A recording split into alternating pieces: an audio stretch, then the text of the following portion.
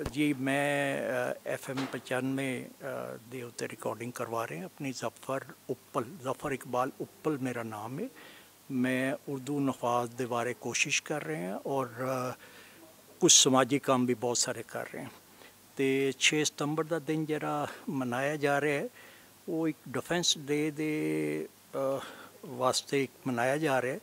ਲੇਕਿਨ ਮੈਂ ਇਸ ਨੂੰ ਇੱਕ ਖਾਲੀ ਫੌਜੀਆਂ ਦੇ ਬਾਰੇ ਨਹੀਂ ਕਵਾਂਗਾ। ਹਰ ਫਰਜ਼ ਦਾ ਇੱਕ ਇਹ ਉਸਦੀ ਜ਼ਿੰਮੇਵਾਰੀ ਹੈ ਕਿ ਉਹ ਆਪਣੀ ਡਿਫੈਂਸ ਜਿਹੜੀ ਹੈ ਨਾ ਫਾਈਨੈਂਸ਼ੀਅਲੀ ਆਪਣੀ ਬਾਡੀ ਲਈ, ਆਪਣੇ ਮੁਲਕ ਦੀ, ਆਪਣੇ ਕਾਰ ਦੀ, ਹਰ ਤਰ੍ਹਾਂ ਦੀ ਡਿਫੈਂਸ ਜਿਹੜੀ ਨਾ, ਉਹ ਕਰਨੀ ਚਾਹੀਦੀ ਹੈ ਅਗਰ ਫਰਜ਼ ਜਿਹੜਾ ਹੈ, ਉਹ ਮਜ਼ਬੂਤ ਹੋਏਗਾ ਤੇ ਮੁਆਸ਼ਰਾ ਮਜ਼ਬੂਤ ਹੋਏਗਾ, ਮੁਆਸ਼ਰਾ ਮਜ਼ਬੂਤ ਹੋਏਗਾ ਤੇ ਸਾਡੀ ਫੌਜ ਵੀ ਮਜ਼ਬੂਤ ਹੋਏਗੀ।